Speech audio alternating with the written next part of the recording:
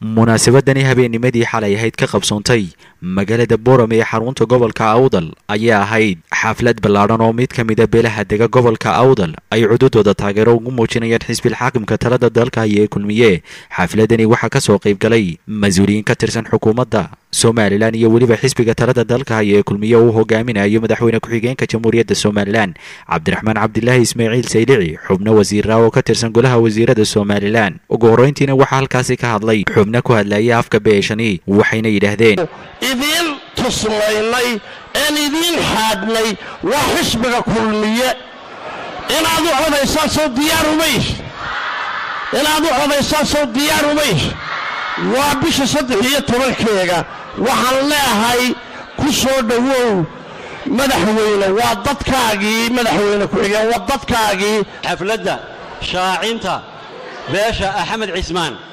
Ma aha inay shaacinayaan inay kulmiye yihiin. Awal bay kulmiye ahaayeen madaxweyne ku-xigeen laakiin waxay muujinayaan taageerada. Taageerada ay u hayaan xisbigooga ayay muujinayaan iyagoo awalna ku jiray xisbiga. Iskuna guubaabinaynaa inaannu codkuna inaga khasaarin oo aad fahantaan dadka waaweynna fahansaan aqalladiinna markaad ku noqotaanna aad sharaxdaan qaabka codku u dhacayo. Codku xisbiga kulmiye wuxuu ku jiraa kadhexuu ku jiraa. Ucud baa ka horaysa kulmiyaa ku xiga waddani baa ugu dambeeya.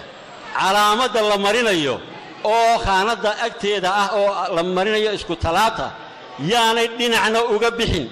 Ka yimiday daafaha kala duwan ee degboorama inaan xisbiga kulmiye codka siino sow maahin inaan xisbiga kulmiye codka siino sow maahin kulmiye ha noolaado ma inaan dooranayn xisbiga kulmiye?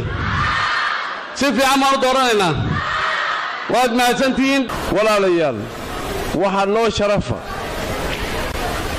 Inaan halkan caawa kula kulanno dadka intan tirada leeg ee ama ha sii joogaan kulmiye ama ha u soo digarogtaan ee sharaftayadii sida fiican u muujiyey annagu haddaan nahay dhagax joog waxaan diyaar u nahay haddaan nahay beesha axmed cismaan ama cismaan guula inaan hoo iyo hiil la garab taagnaanno waa runtii sidaa in xasan sacade annagu dariiq ma lihin haddaan nahay dhagax joog.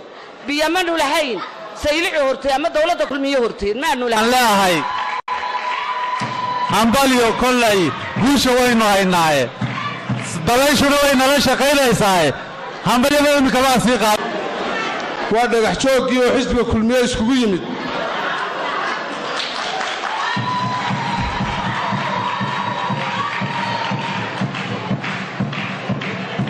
beri dhoweed baan xeebta soo maray waxaan arkay raadadka ka muuqda intii kulmiye joogay wixii u qabsoomay aynagu soo aadan sanduuqa xisbiga kulmiye.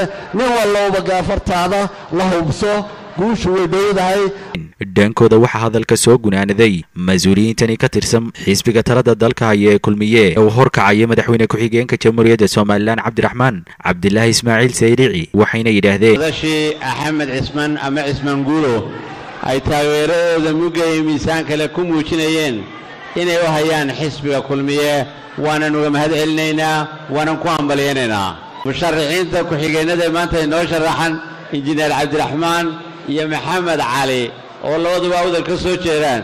Dee cabdiraxmaan wuxuu dheer yahay garasho. Qofkii halkaas soo fuulaba abtirsiintiisuu sheegayaa. Taasi ma wax la dhayalsan karaa?